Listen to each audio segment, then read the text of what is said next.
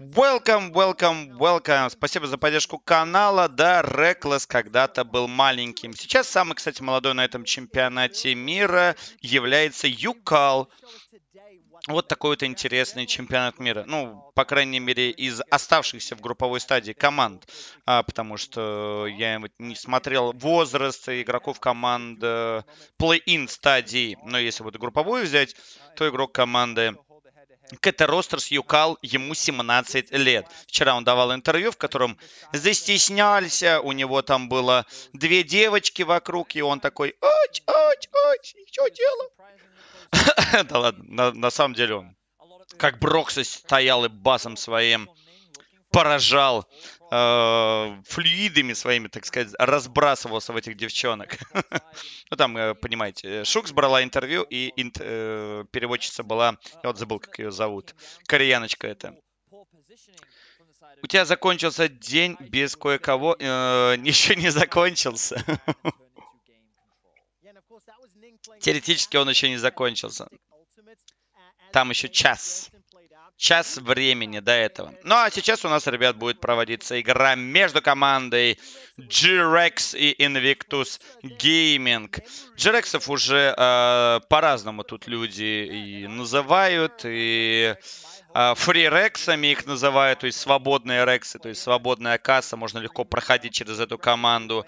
А вот инвиктусов все как-то подзабыли, в том числе и я, что это все же чемпионы э, регулярки э, Китая, двукратный, кстати, чемпионы регулярки Китая, но двукратные вице-чемпионы Китая по результатам плей-оффа. То есть в плей-оффе они всегда проигрывали в финале команде Royal Never Give Up, а вот э, до этого в регулярке они занимали первую позицию. То есть Royal Never Give Up больше ошибок творила на протяжении всего турнира, нежели вот эта вот команда. Также у них есть супер богатый э, ну, не тренер, а как его бы называть-то, хозяин этой команды, который даже выступал э, в основе своей команды в один момент, когда они уже, ну, точно выходили с первой позиции в плей-офф.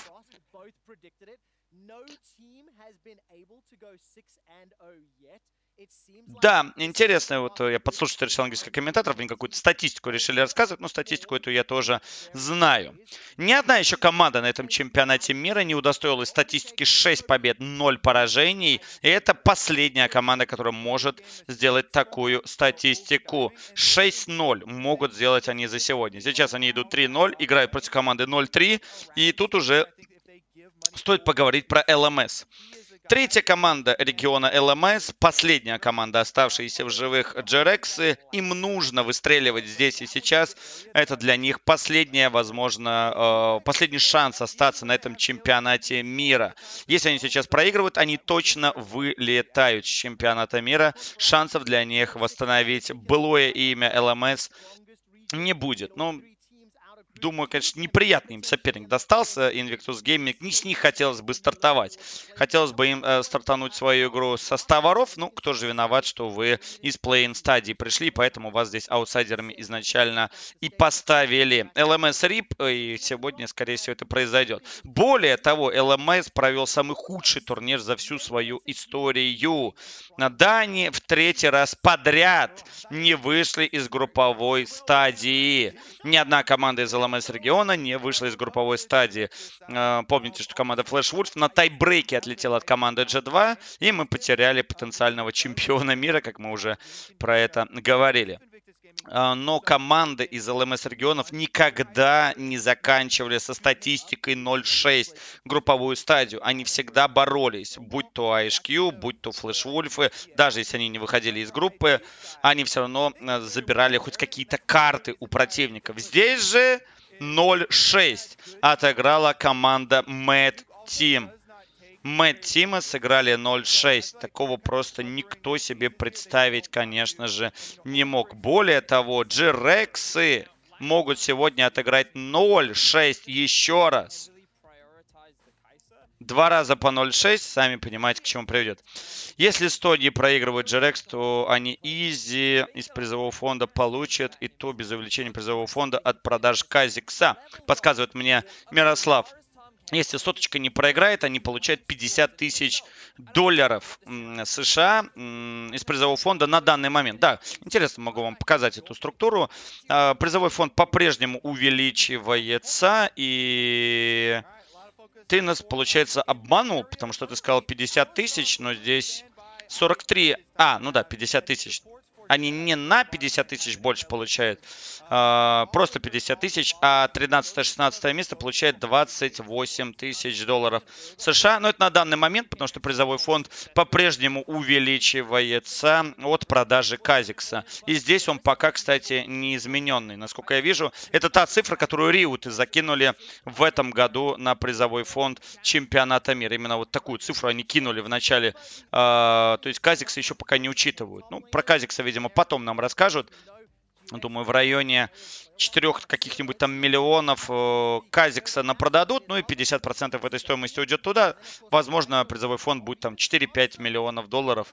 Сами знаете, что Риут э, денежки немножко по-другому раздают командам, и поэтому все эти команды за призовой фонд ты не очень не борются. Это не покер здесь, где а, у тебя нет зарплаты, и тебе надо обязательно выиграть, у тебя нет спонсоров. Здесь все немножко по-другому. Здесь большинство игроков не столь а, важно большинством из этих игроков вот заполучить этот титул с точки зрения денег, как с точки зрения а, просто рейтинга. Жадные риуты, где миллионы? Есть миллионы, не волнуйся. В развитие были потрачены миллионы. У тебя YouTube трансляция, не могу найти ощущение, что ее там нет. И сейчас кто-нибудь из моих админов тебе это расскажет. Давайте посмотрим игру. А, админы, следите, ребят, ссылочку всем кидайте, кто приходит, задает вопрос. YouTube есть, не волнуйтесь, сегодня мы на live-канале стримим. G-Rex ы 0.3 забирает себе Атрокса для PK забирают себе Заю с Трэшом и получает в лицо не Алистара, потому что он был забанен не Наутилуса, потому что, видимо, Баолан боится его играть, а берут они Там Кенча с Кайсой. Кстати, первый раз я вообще вижу комбинацию, по-моему, на этом чемпионате мира там Кенч Кайса. Редко кто так играет, и если и играют так, то обычно это делается для того, чтобы эм, спастись там от ульты Скарнера, от ульты Ноктюрна, Синдры, ну уж точно не просто, чтобы Кайсу проглатывать. Кайсу сама о себе может позаботиться. Очень хорошая мобильность за счет Ешки, невидимость за счет Ешки, если ты уже добрался до трех предметов. И прыжок с ульты дает ей щиток, поэтому ассасины ей не так страшны. Из-за этого ей нужны инициативные саппорты, а не такие, как вот э, в данном случае мы с вами видим. Раз за разом Зая продолжает проигрывать Кайси, но ее упорно продолжает брать. А у тебя обманная статистика. Я не знаю, кто тебя обманул. Не слушай тех, кто тебя обманул. Если ты не в курсе, Кайса как раз-таки проигрывает зачастую этому чемпиону. Вот я могу champion stats вывести. И winrate будет как раз-таки за Заей а Кайса в отрицательной идет статистике. Два есть контрпика на play-in стадии было больше, там еще Люциана пытались играть. И вот про него эти слова будут правильные. Люциан раз за разом проигрывает этому чемпиону. Но вот если пробежаться по AD carry, то сейчас вот увидишь, как э, Зая имеет 11 побед, 10 поражений, Кайса 14-14. То есть это либо скиллбейс, либо с небольшим перевесом идет в сторону Зай. Кстати, еще одна победа за Северку. Сделала ее 7-3. А вот Люциан, где он тут у нас? А, Люциан, он сейчас 3-3, но это в этой стадии чемпионата мира. Здесь ребята умеют Люциана использовать, в отличие от других. Просто нюпсы все открыли для себя Кайсу. Тоже верно. Многие игроки, которые не main ят Кайсу, начали ее играть, и из-за этого все так пошло кривовато. Ну что ж, и видно сразу, Invictus Gaming не умеет читать на русском языке, не умеет находить в интернете статьи, которые писались для тех, кого нельзя называть. А, команды и отдают Синдру для Кенди, а, отдают playmaking чемпиона для Эмти и hard carry чемпиона для Пейкея. Именно это я запрещал той команде делать. Ну, как запрещал? Советовал. Хотя надо было, видимо, с запретом это делать. Я вам запрещаю, надо было написать. Тогда бы, возможно, э, мы бы видели в плей-ин стадии не команду Джерек сегодня, а какую-то другую. Хотя, возможно, результат у него бы был тоже 0-3. Но, по крайней мере, было бы нам приятно сегодня смотреть за противостоянием СНГ-сегмента против китайских топ-2 коллективов. Хороший чемпион у Джерексов и такие себе чемпионы у Invictus Gaming. То есть, то есть э, есть комбинация Камила плюс Галио. Я это не отрицаю, это круто. У Дюка есть Ургот, э, который для тимфайт хорошо подходит, в отличие от Атрокса. Но когда мы спускаемся на ботлайн, мы понимаем, что что-то здесь уже не то. Совершенно непонятно, зачем здесь взята Кайса. Она без тяжки, она никак не усиливает Камилу, не усиливает Галио. И также непонятно, а зачем вам здесь эм, Там Кенч? Что он там делает? Заменить вот здесь Там Кенча у команды Invictus Gaming на того же самого Наутилуса, который мы видели, до того же самого Грагаса, и мы уже получили бы шикарный э, setup. Но так получили не самый шикарный. Особенно зная, как хорошо команда GRX играет через hard carry для Пикея, как хорошо играет Эмти на плеймейкерщих чемпионах в лесу, и как классно Кенди умеет играть на Синдре. Кстати, Зая тоже на ботлейне. Помните, что Зая Райкан лучшая комбинация команды GRX на ботлейне, но Райкана в этой партии они себе выбить не смогли, и пришлось Куали играть на трэше. Ну, что значит пришлось? Посмотрим. Если бы это были равные команды, я опять ставлю если бы, понимаете, то команда GRX имеет лейнинг фазу преимущества, имеет э, чуть-чуть слабее мидгейм, но сильнее лейтгейм. Это вот мое аналитическое, как говорится, видение происходящего. То есть получается где-то 60% за джерексами early game вылетел из игры у нас PK. Мы это видим с вами. Он стоит за компьютер, э, стоит на фонтане. И вот за его компьютером сейчас судья уже стоит и говорит, что случилось? Как так-то? Что ж ты натворил-то? От Рокса взял, говорят, да? Понятно. Ну, придется, наверное, заново запустить игру, потому что он потерял порядка 8 секунд э, игровых. Э, проще будет запустить заново игру, либо, ну, убедиться, что игрок не против того, что он отстает на 8 секунд из игры. Так вот, у команды GRX 60-65% early game pressure давление, потому что Ли Син прямая контра к Камиле, кто не знает. И он, кстати, во всех стадиях игры прямая контра к ней из-за того, что может выкидывать ее э, своей комбой из ее же собственной ульты и спасать таким образом своих игроков. Mid game чуть-чуть посильнее за Invictus ами отдам из-за того, что Трэш и Зая проседают, а вот Кайса с Там Кенчем чуть получше будет. Ну и, конечно же, первые ульты Галио вместе с Камилой в комбинации. Это приятная тема. Ну и late э, чуть-чуть уже посильнее команде G-Rex отдам, потому что все же есть Трэш, который посильнее Там Кенча в late game е. И, конечно же, Зая, которая чуть-чуть посильнее Кайсы. Тем более, что у Зая есть усиление, это Трэш. А там, ну и Ли Син, кстати, ее тоже усиливает. А там вообще ничего не будет. Ли Син-то будет с Black Cleaver ом играть, а там что? Таунты подкидывания, ну, гипотетически, если эти таунты подкидывания не доберутся до правильной цели, то ну, 55 я дам за команду Late Game. Придумывать ники с буквами. Ну, PK, да, на этом чемпионате, кстати, меньше одна-двухбуквенных игроков, чем было в прошлом году. В прошлом году был Ю-2, а, Ан, это только из команды ЛМС региона. Был на топе кто-то двухбуквенный у Китая. Был просто Ю, на миде, я только не помню, у какой команды, вот э, Ю. То есть было 4 или 5 игроков, у которых одна или две буквы в никнейме. Какая средняя продолжительность? Э, чего там средняя продолжительность? Давайте. Так, какая средняя продолжительность жизни в киберспорте у киберкотлеты? Вот что интересно, в Лиге Легенд средняя продолжительность все еще не выявлена. Ну, можно отметить как 5-6 э, лет, Лига Легенд существует уже 8 лет, это восьмой сезон, восьмой год, соответственно, и большинство игроков даже до сих пор играют. И из-за этого, и благодаря им, продолжительность все увеличивается и увеличивается. Но если просто взять киберспортсмена, обычно это будет 3-4 года, не дольше. Это если вспоминать тот же самый StarCraft, Warcraft. Но опять же, киберспорт развивающаяся дисциплина, ребят, абсолютно развивающаяся. Киберспорт занимает сейчас э, все позиции в букмекерах. Бук... Я, поймите меня правильно, я против букмекеров как э, как это называется, как фанатизм. То есть я за то, что люди могут делать ставочки, там проигрывать, выигрывать, это их дело. Это как казино. Оно должно существовать для некоторых людей. Оно, ну, как необходимо. Но фанатеть этим и одновременно с этим, как говорится, все последние деньги там проигрывать, это, это уже плохое. Это плохо.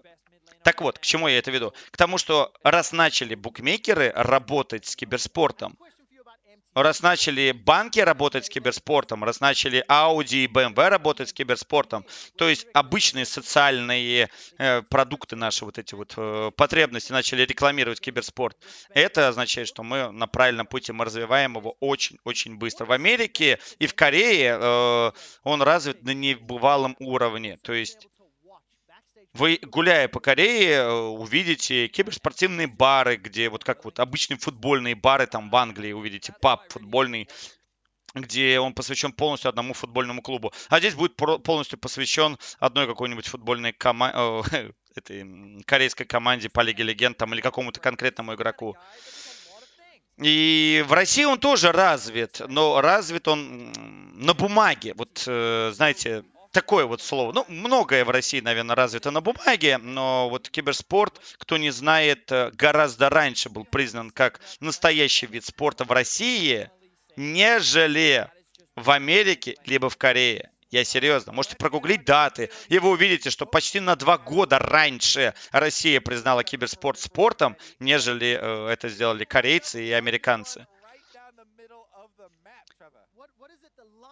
Имея вот такой базис, э, осталось только, как говорится, заиметь э, спонсорство. А чтобы спонсорство заиметь, надо убедить. А убедить надо не только самих спонсоров, хотя это, наверное, тоже довольно проблематичная вещь, но и э, самих людей. Потому что люди, как вы видите, относятся, как, видимо, как 100 воров к этому всему. Это все игра, зачем это нужно? Мы пробились на чемпионат мира, ура, уже хорошо. Можно вот просто посидеть, поиграть в Лигу Легенд. Ой, отличный пинг, пойду. Блин, все, началось, началось.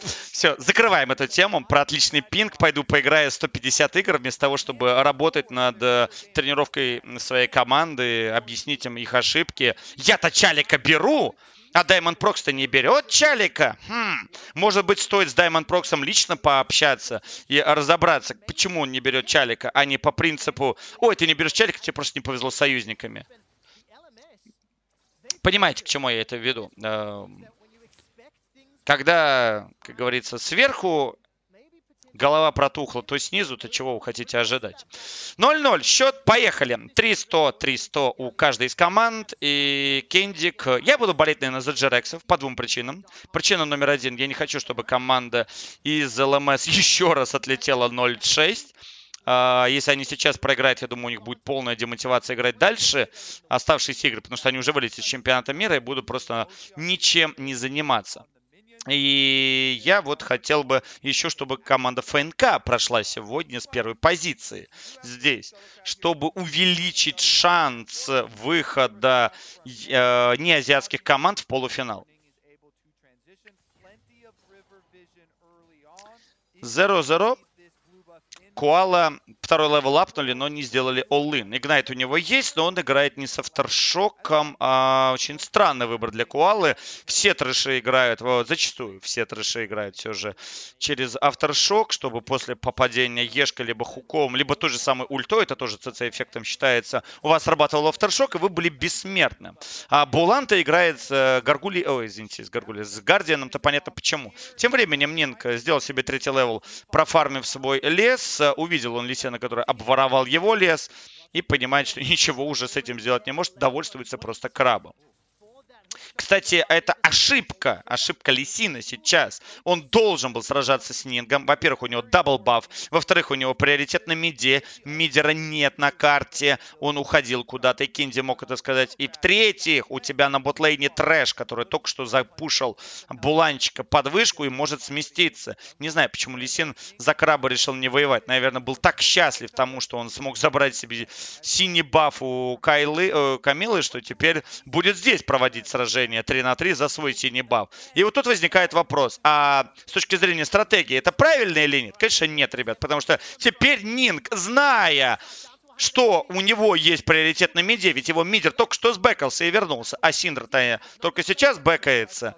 Просто прыгает в Эмти, предлагает ему дуэль один на один, и Эмти понимает, что это неспроста. И double buff у него тоже закончился. Нет больше красного buff а, у Нинга тоже нет красного больше buff а. Вот Эмти бегает, ищет возможность подойти на свой синий buff, забивает на это все и возвращается фармить своих волков. Нинг даже здесь со smite ом ошибается. Вот такая вот проблема, ребят. Разница действий команд. Если бы Эмти сделал то же самое по Нинку в тот момент, Джерекс э, заполучили бы классное себе преимущество. Я думаю, Брокса бы так и поступил.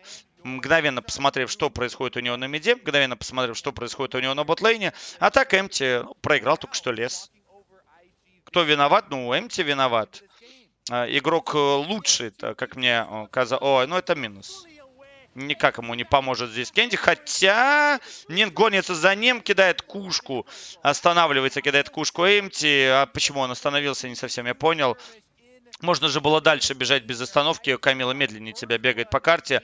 Пытается Кенди у нас парю, э, пороки попасть. Руки попадает под прокасный. Соло килл можно сделать. Кенди идет дальше. Но это автоатаку. Он его станет. Он снимает клинцем этот стан. Забирает себе этот килл. Но Ненг убьет его. Дает замедление. Кенди пытается уйти за крипам. Еще один стан прописывает. У нет маны, к сожалению, Кенди. Нинга нет здоровья. И поэтому он отступает. Кенди забирает себе убийство. Все же соло килл против Роки на меде, а Капста, например, не умирал от этого игрока.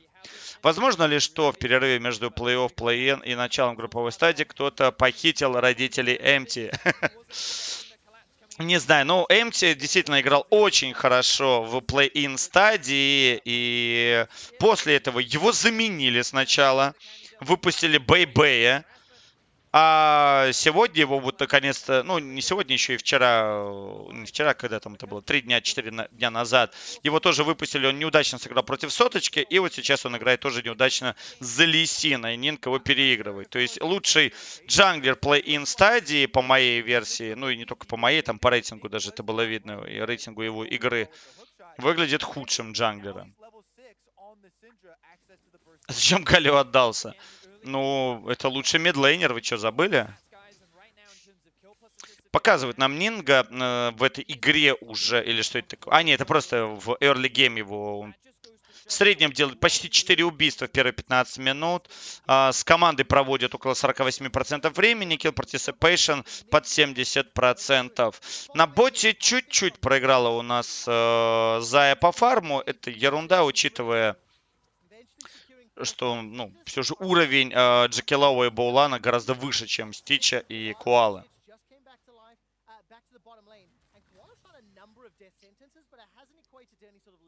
Тоже просто не хочет, чтобы у Джекса было 0-6. Большое отставание у Пикея на линии. Напоминаю, что в этой линии Ургот имеет преимущество в первые 10, там, ну, возможно, даже 15 минут. После этого начинает иметь преимущество 1 на 1 от Рокс. А если это преимущество, которое вот в начале Ургот эм, набирает, не использовать, то от Рокс начинает его просто в соло убивать, соло сплитпушить. И очень тяжело дальше большинству команд с Атроксом бороться. Но зная чемпионат мира, как шел, мы пришли с вами к выводу, что большинство команд первые 15 минут просто выигрывают за Ургота на линии, а потом Ургот не уходит из э, в сплитпуша, просто вечно бегает с команды, отпушил и побежал к команде. И никак Атрок себя не успевает реализовать, потому что слишком долго ему надо восстанавливать силы. Хотя там пару игр, конечно, он выиграл, но winrate его в районе 30%, то есть Атрокс против Ургота проигрывает. То есть чуть ли можно не сказать, что Ургот прямо прямая контра Атрокса.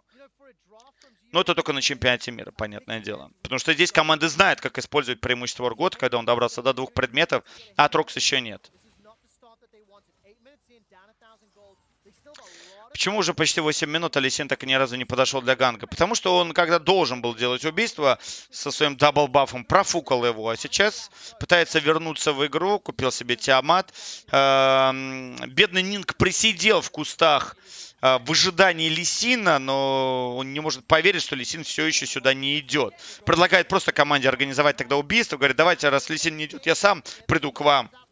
Делает инициацию, но отпрыгивает у нас Стич э, на своей ульте на Куала на флеше в сторону И а, Invictus Gaming отходят. Нинг ставит вар, предлагает пойти делать дракона. Он вообще понятия не имеет, где Эмти, почему Эмти не играет со своей командой, потому что он был уверен, что Эмти он сможет здесь поймать сейчас на боте, на контрганге.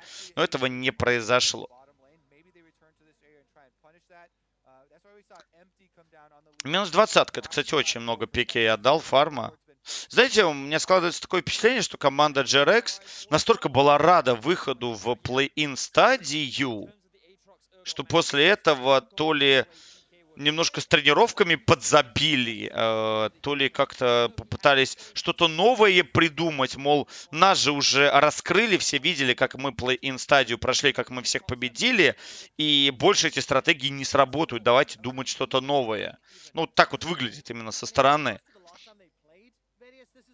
То есть давайте немножко поиграем не так, как мы играли до этого. То есть даже сейчас, если так задуматься, Эмти на чемпионате не играл еще Лисина. Вот сейчас он его играет. Ульта Дюка промахивается. Нинг дает свою ульту, пытается добить от Рокса. Добивать это получается, но от Рокса будет пассивка. Эмти ставит Вардецкий и убеждает, что Камила через низ не идет. Можно идти краба забирать. Но Эмти решает забрать не краба, но слишком пассивно играет Эмти. Я не знаю, что с ним не так. Краба надо идти забирать. Ну, конечно же, на реке. Ну, Камила битая. Зачем ты остаешься здесь, в этой стороне своего леса? Ган хочешь сделать Пике? У Пике нет здоровья, там у Дюка фул здоровья. Пике должен сейчас уходить на рекол и все, а ты бы как раз краба мог бы прикрыть эту линию потом, да. Ник законтрен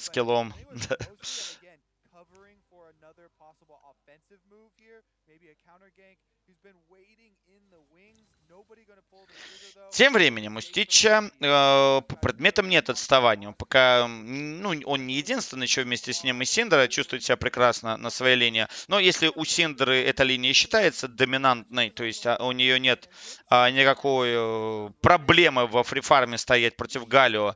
Галио, конечно, можно начинать сейчас начать летать по карте. Показывают нам статистику Джеки Лоуа в первом круге. Чуть ли не лучшая декерри. 14,7 КДА, второе место.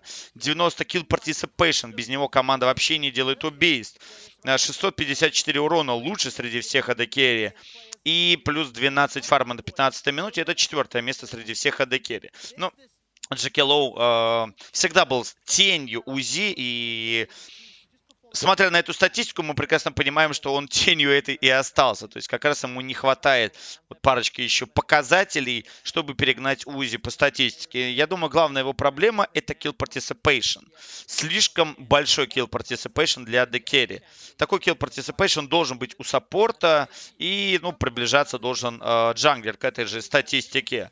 У него Адекери. Ему надо больше фармить, ему нужно больше э, набирать действий э, не в мидгейме, где он, видимо, это все набирает, а в лейтгейме. Но, с другой стороны, как говорится, команда это все равно выиграла три игры из трех. Какая разница? Хороший хук здесь, но им не воспользоваться. Ургот имба! Да, Ургот имба, я с этим соглашусь. Я тут 3 на 3 вчера, когда играл, э, без стрима.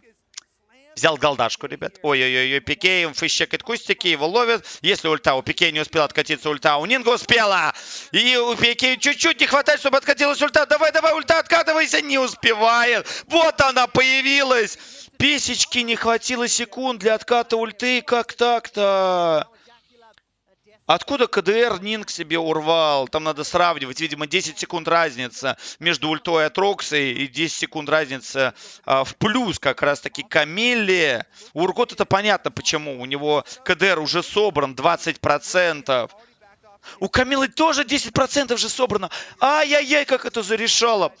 А представьте, если э, не слушать Проли, а слушать как раз, точнее, наоборот, его доводы, что профессиональные команды тренируются по 24 на 7. Представьте, что он специально, Нинг специально купил себе CDR-ку до ботинок там, э, сделал ульту с этой CDR-кой. Дюк, ну, у него автоматически идет CDR build, это вообще не обсуждается.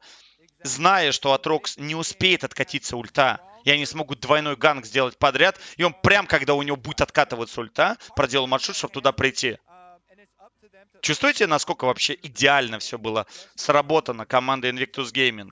просто невероятно. Ну, я понимаю, что против команды GRX это работает, а будет ли это работать против других?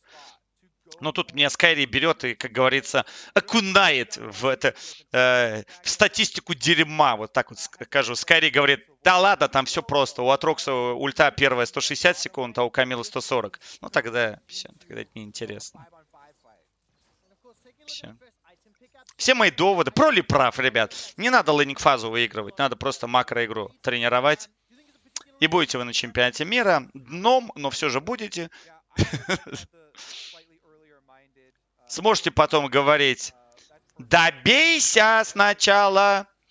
У Ургота 120. Не, ну Ургота я знаю, да, у него изначально там ульта очень быстрая.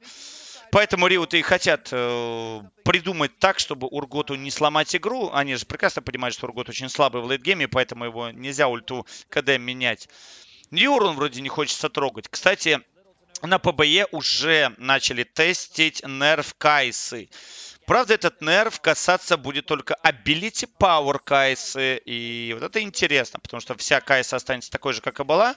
Хороший хук. Ловят. Лисен кик. Но как же Буланчик проглатывает. И она выскакивает. Дает ульту. Галю прилетит сюда сверху. Дает подкидывание по двум игрокам. У него есть таунт. Будет ли он его нажимать? Конечно, будет. Флэш, таунт по трем игрокам. Подкидывание. А где остальные-то? Джеки Лоу пытается бить, но ему не хватает урона, потому что Пикей вытанковал все это. И Синдра подходит, делает килл. После этого второй килл на хуке ловит Дюка, который пытался уйти на Ешки, но как же э, ему не дает никуда уйти Куала. Ешку дает, получает тогда это лицо, его проглатывают. Ай-яй-яй, смерть. Но зато за это можно будет снять шедешечку.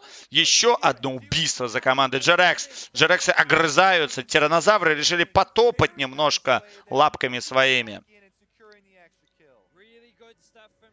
Вообще, конечно, если так задуматься, э, брать символом своей команды тиранозавра не очень разумно, учитывая, что в киберспорте самое главное это как бы пальцы и руки, а вы знаете, как выглядели, ну если верить историкам, археологам, как выглядели у тиранозавра лапки. Ногами играют джерексы. Откровенно говоря, ногами. А больше нечем просто. Все же тиранозавр. Но руки вроде сделал неплохой такой тавер дайв, но они что-то как-то не учли то, что Кенди тоже уже спустился сюда, и Пикей с ультой остался, и он сможет вытанковать большую часть урона. Эскайса файт провела, да. Зато какой куси у них. Да, куси у них э, то, что надо. Что делала Кайса? Ну, это Джекиловская Кайса не лучший его чемпион, на самом деле. 4-4, 2000 с половиной отставания команды GRX. Играть все еще можно, но неприятно. А, напоминаю, что Мидгейм я отдавал уже за команды IG, как раз они вот этим мидгеймом мы воспользовались, там у них комбинация ультимативных способностей Галио плюс Камилла, Ургот, съедающий одного игрока, плюс тут и Кайса, может совсем нагло себя вести, потому что у нее есть Болван, который сможет ее проглотить на там Кенчи. Но чем дальше будет идти играть, тем проще будет Джерексом э, сражаться. То есть сейчас самая сложная стадия игры у них – чуть попозже будет попроще, а потом вообще они уже будут лидерами. Ну, правда, незначительными тоже лидерами. Но если они смогут на равных продержаться эту стадию игры, э, дальше там 3000 не уйти в отставание, вполне реально даже побороться за всю игру. Таунт ловит Кендика, но Ешку тратил руки, а без Ешки Таунт не имеет никакого смысла, потому что нет подкидывания, значит нет комбинации урона. Эм, магическую пенетру у нас собрал Кенди, и теперь он может, в общем-то, шотнуть ту же самую Камелу, хотя у она уже, почувствовав эту э, проблему, сразу начала собирать себе э, здоровье. Руби Кристалл добавил 150 ей здоровья, это хорошая такая покупка. Вроде бы маленькая покупка за 400 золота. Я думаю, большинство из вас соло-кубы про себя подумали, да ладно, это ничего не решит куплю и это, или куплю мечик и один пинкварт. А нет, ребят, решает. 150 а, здоровья от ульты, когда у противника там Лебланка, Синдер, какая-нибудь Эвелинка. Тебя просто шотнет. Э, либо ты останешься в живых и успеешь сам в ответ нанести очень много урона. Блин, эти боты на ютубе и до сюда добрались, смотрите. Я просто смотрю. А, подпишись на мой канал. Я Ваня Тей. Рад тебе, Ваня Тей. Э, жаль, что мы не с тобой разговариваем, а с твоим ботом. И вот такой же бот, кстати, ходил и от Оффинерса.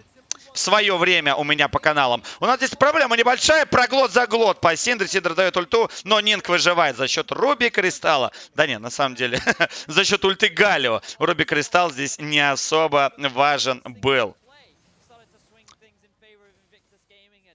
Это просто вот э, я про почему Оффинерса вспомнил. Э, вот точно такие же боты ко мне приходили на YouTube и на Twitch причем тоже. А, ты даже с ними разговаривал, они тебе не отвечали, потом заходил проверять, остались ли на канале эти, так сказать, люди, э, и видел, что они просто написали одно сообщение и ушли. Ну, очевидно, что это бот. Ну, как бы либо очень специфичные люди, которые ходят по чужим каналам, предлагают подписаться на другой совершенно канал по Лиге Легенд и при этом уходят с этого канала. Именно поэтому у меня к нему ну, такая небольшая неприязнь. Это просто кто-то, я помню, спрашивал, а где доказательства? Какие ваши доказательства? У меня доказательств нет никаких. Только личный стрим и в прямом эфире, когда это происходит. Одержимые, да. Одержимые Оффинерс прибегали ко мне на канал и так делали. Это было где-то месяцев 7 назад. Это еще было до Руриутов, когда я съездил в студию, еще до этого. Причем самое любопытное, я не буду говорить, кто еще мне это рассказал, а, чтобы вы не подумали... Ну, может, он не хочет этого говорить, я-то не боюсь, а вот э, он, может, боится или там за свою репутацию. Просто там в Руриутах еще с одним стримером-блогером общался, и он как раз мне я начал говорить, что я знаю одного стримера, который неожиданно стал популярным, и мне кажется, он это сделал все за счет ботов. Тот говорит, да, и кто это я назвал? И он такой, ха, у меня тоже на канале такие приходили. И я такой, ну все понятно. Если и к тебе на канал такие же приходили, то все понятно. Абсолютно точно теперь все понятно. Но это уже он сам, если захочет, вам как-нибудь расскажет. Кто расскажет, не буду. Ну, тут у нас, к сожалению, ребят, Джерексы умирают. Midgame, помните, я говорил, проблемный у команды э. И эти проблемы гиперболизировались, как только закончилась э, вышка на ботлейне. Сразу же сместились на мид у нас Камилла, Галио. Там Кенч, они сделали убийство. После этого переместились на ботлейн. Сделали там еще убийство. И сейчас solo kill сделал Ургот на Атроксе. Потому что у Атрокса все еще один предмет. И IG решили сделать еще и быстрого нашора через шишку. Как ты считаешь, будут ли изменения в составе Гамбит или они оставят все как прежде? Ну, ты мое мнение спрашиваешь или прогноз? Мой прогноз можно оставить прежний состав. Э, проблема не в составе. Ты знаешь, где проблема. Вот что нужно менять. Проблема-то как раз не в игроках. Я всегда говорил, что проблема в СНГ не в игроках. Всегда вам это говорил. Ну, можно, ладно. Если, если есть возможность э, заменить там стажера на более сильного топ-лейнера, то с удовольствием. Если есть возможность поменять лодика на более сильного адекерри, тоже можно менять. То есть, как бы, э, единичные замены, они не повлияют на всю структуру команды. Если вы реально будете менять э, менее звездного игрока на более звездного игрока, не звезданутого, а именно звездного, в смысле того, что он сильный игрок, хорошо играет. Потому что есть звезданутые игроки, которые думают, что они просто сильно играют. А все совсем по-другому. Всех распустить, кроме стажера. Стажер пусть. Может быть, стажеру пора подумать о тренерской карьере, потому что у него есть опыт игры в лесу, у него есть опыт игры на чемпионатах мира, опыт игры на топ-лейне. Наверняка он еще и шатколлер хороший, потому что мы же знаем, что все шатколы делает коман- в команде Гамбит именно он и Эдвард. И, может быть, действительно ему стать э, Сент Вишесом нашего э, дивизиона, нашего региона. Стажеру стать наставником для стажеров, да. Кого ты отнесешь в угол звезданутых игроков? Не, тут ты меня не спровоцируешь.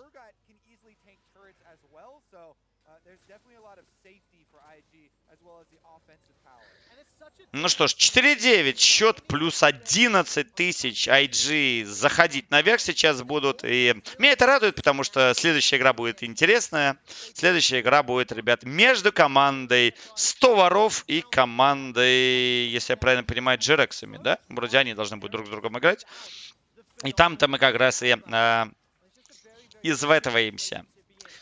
Что-то я хотел еще рассказать вам про сегодняшнюю игру, вот эту. Какая-то была у меня информация.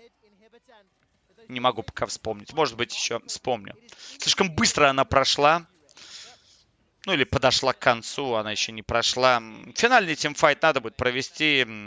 Эмти теряет титул лучшего лесника. Ну, он уже давно его потерял на самом деле. Flash taunt шикарные от Руки, подкидывание от Руки. Это минус все игроки команды GRX. Классно отыграли, конечно, midgame setup команды IG. Ничего нельзя здесь сказать. Ли Син зарабатывает, наконец-то, первое убийство в этой партии, добивая Кайсу ногой. Кстати, Кайса могла отфлешиться, но не среагировала. Э, какие топ-5 непрофессиональных игроков Гамбит ты знаешь? Забавный вопрос. Какие топ-5 непрофессиональных игроков Гамбитах я знаю? Хм. Это забавно. Твой вопрос э, уже смешнее любого ответа, который я бы мог дать. Это килл. Нет, Нинга не получается убить, потому что Балан его проглатывает. И игру заканчивает команда Invictus Gaming. Как найти записи шатколов гамбитов? Это не смогу подсказать. Такие вещи обычно нигде не записываются. Ну или не выкладываются, если записываются. Джерексы слишком расслабленно, мне кажется, играет на этом чемпионате мира в групповой стадии. Опять пометочка, ремарочка групповой стадии, а не все. Так, что у меня здесь куча статистики. А где сам чемпионат-то? Верните меня в чемпионат. Я хочу узнать, кто с кем играет. А, нет, фанатики Джерексы. О, так это не то. А где соточка-то моя любимая? Соточка не будет играть следующую партию. Следующую, ребят, будут играть фанатики против команды G-Rex. И его G-Rexом. Они могут испортить Европе чемпионат мира. Они могут организовать сейчас шикарные заходы в леса команды Фанатик. Но учитывая, как сегодня выглядели Фанатики, мне кажется, там еще больше будет разгром, чем э, они учинили против Соточки. Пока идем на перерыв. После перерыва будем смотреть эту игру.